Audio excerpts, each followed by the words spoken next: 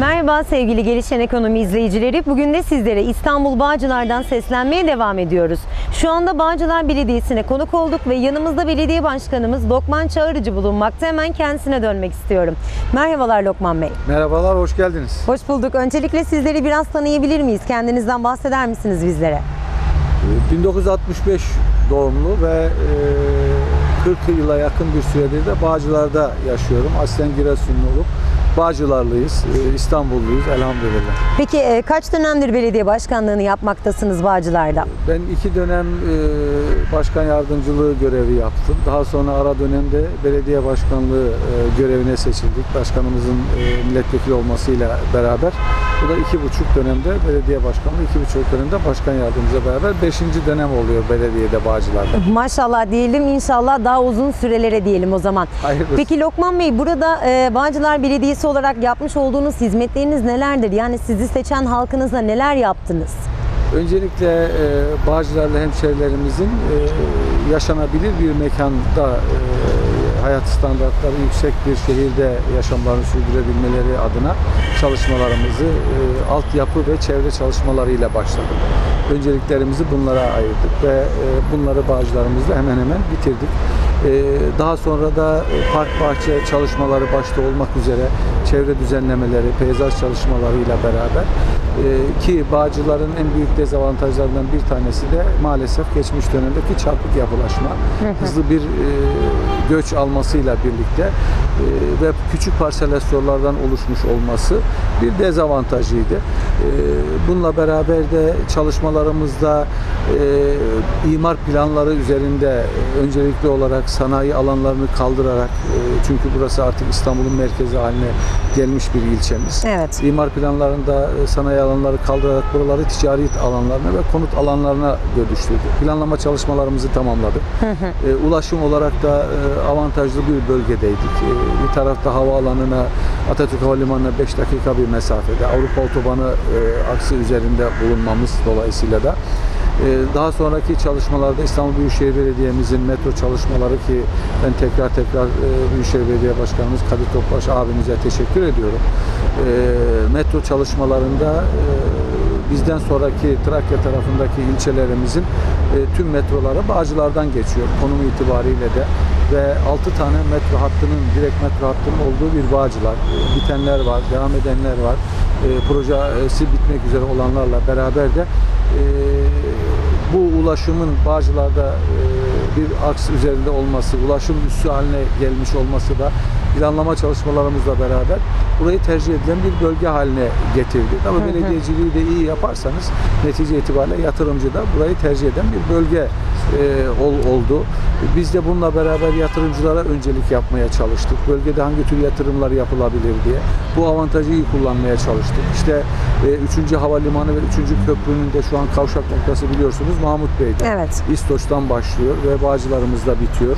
15 dakika mesafede bir 3. havalimanımız oluştu. 3. köprü 15 dakika mesafede.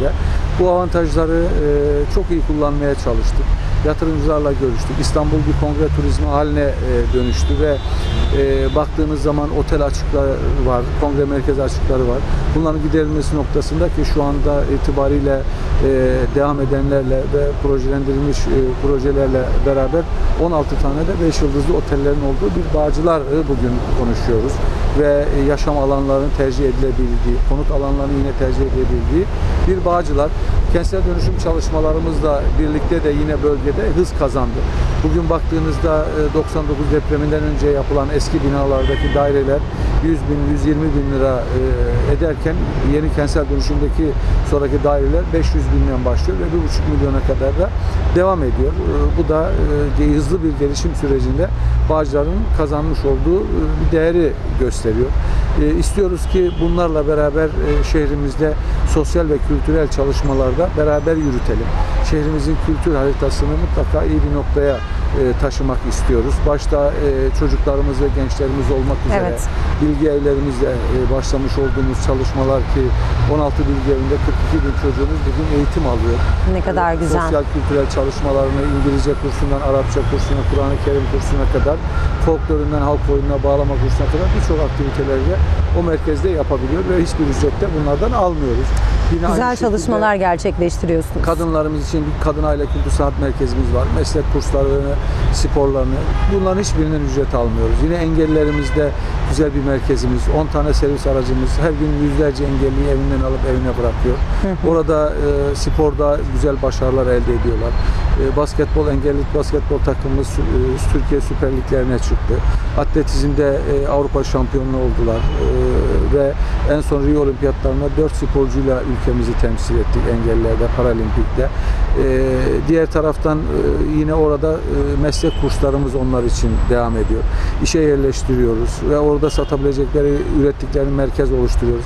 Yani her alanda onların da bu ülkeye, bu vatana birer faydalı insan olduklarını gördüklerinde onların mutluluğu bizim mutluluğumuz. Eğer bir toplumda huzuru ve mutluluğu yakalamak istiyorsanız mutlaka e, her alana, her kesime dokunmanız lazım. Biz de Bağcılar'ın huzur ve mutluluğun bireysel mutluluktan geçtiğine inanıyoruz. De Peki son olarak buradan sizleri izleyen izleyicilerimize neler aktarmak istersiniz?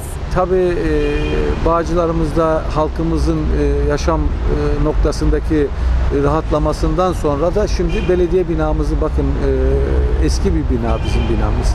E, önceliğimizi kendi oturacağımız veya işte belediye binasına ayırmadık. Hep halkımızın mekanlarına ayırdık ve şimdi sıra geldi. İnşallah e, önümüzdeki ayda belediye hizmet binamızın inşaatı e, başlıyor ve kaymakamlık binamız da aynı şekilde tamamının kiralarını belediye olarak biz ödüyorduk. İnşallah e, Bağcılarımıza e, kısa bir süreçte e, çok güzel bir belediye hizmet binasıyla bir hükümet konağını kazandırmış olacağız. İnşallah diyoruz. Peki vermiş olduğunuz bilgilerden dolayı sizlere çok teşekkür ederiz Lokman Bey. Nice bol kazançlı ve sağlıklı günler Çok sağ dileriz. olun. Ben teşekkür ediyorum. İyi yayınlar diliyorum. Sağ olun. Evet sevgili Gelişen Ekonomi izleyicileri bugün de sizlere İstanbul Bağcılar'dan Bağcılar Belediyesi'nden seslendik. Ben şimdilik sözü merkez stüdyolarına bırakıyorum. Hoşçakalın.